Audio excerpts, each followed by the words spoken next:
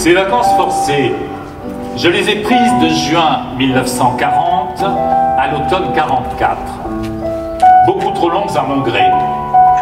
Ainsi qu'un grand nombre de Parisiens, j'étais parti à la dernière minute sans savoir où j'allais. Et quatre années durant, j'ai erré de ville en ville, campant ici, loin ailleurs, me fixant plus loin, toujours à la recherche d'un abri plus sûr. Aldebert. Ainsi s'appelait le photographe. Appartenait effectivement à la Gestapo.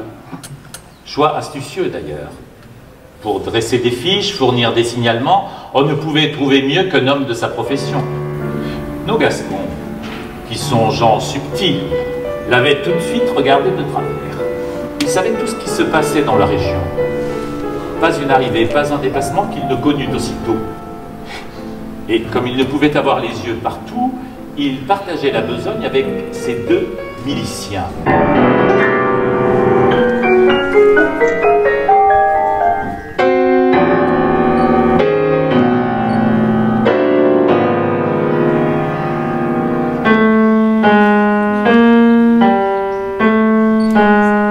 Comme il courait des risques, les Boches l'accompagnaient ou son ami le gitan.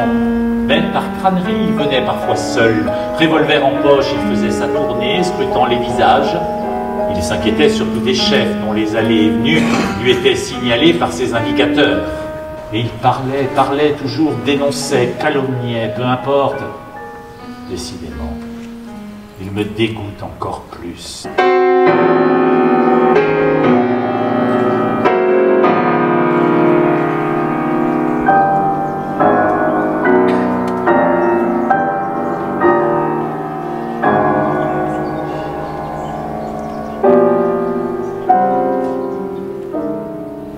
Les survivants, glacés, se serraient l'un contre l'autre, regardant la banquette vide.